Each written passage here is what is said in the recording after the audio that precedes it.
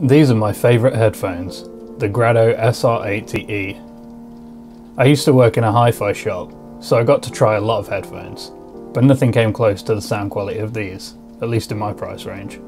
I've had them for about 6 years, and at some point I added an Antlion ModMic so I could use them for gaming and work calls. As you can imagine, they've been getting a lot of use in 2020 due to working from home. The cables are starting to wear out and the restrictive nature of having thick cables going to each ear is getting really tiresome. So today, we're going to make them wireless.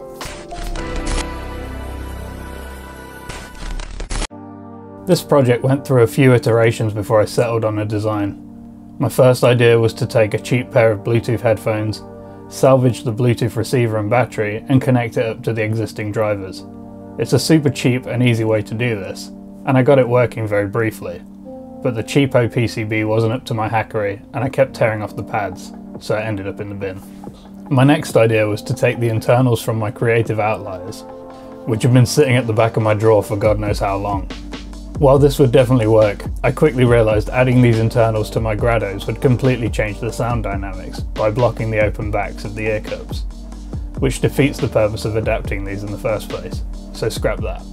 Eventually I decided on a modular design, utilising this J22 Bluetooth receiver. I picked this up on Amazon for about 10 quid, and for the price, the quality is staggering. It uses a Bluetooth 5.0 chip, has aluminium finishing on the edges, charges by USB Type-C, and has a claimed 16 hours of battery life.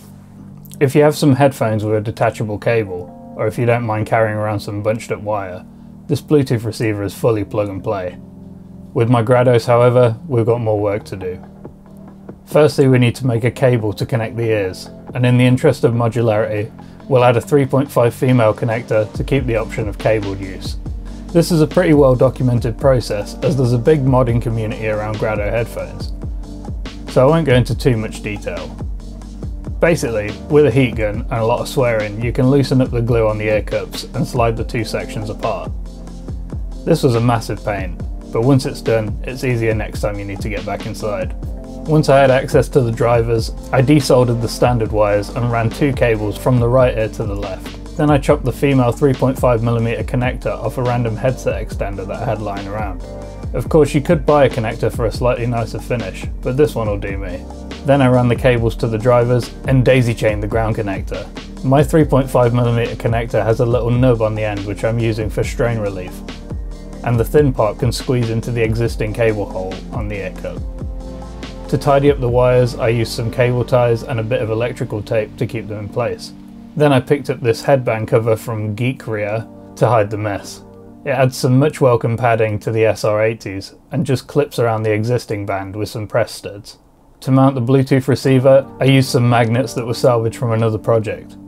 I attached one to the headband with electrical tape, and the other was superglued to the back of the Bluetooth receiver. This creates a really sturdy mount that can just be popped off for easier charging, or if you want to use the receiver in your car for example. Then I picked up the shortest 3.5mm cable I could find and connected them up. Easy peasy. I've been using these wirelessly for about a week now, and they're working great. I had audio quality concerns, but to my peasant ears, they sound almost indistinguishable from the wired setup. The battery life is fantastic too. I've been using them for almost my entire workday, and some evening gaming too. So far they've lasted multiple days without needing a top up. I'm really pleased overall. A little side note, if you do happen to break any of the parts of your headset, models are readily available on Thingiverse and are pretty easy to integrate. Don't ask me how I know.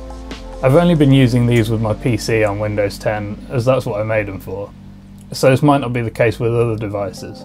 But there's a tiny bit of latency that can affect lip sync when watching videos, and I haven't had much joy with the receiver's built-in microphone. Instead, I'm still using my ModMic and just clipping it on when required.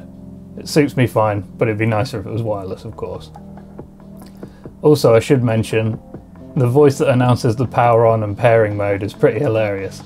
Power on, pairing, connected. The beat probably would have sufficed. As the design is modular, if the battery runs out at a crucial time, I can just pop a 3.5mm headphone cable in there and continue using the headset.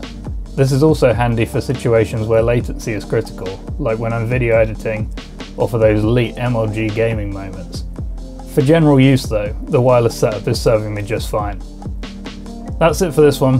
Hope you found it useful. Until next time, Doodles.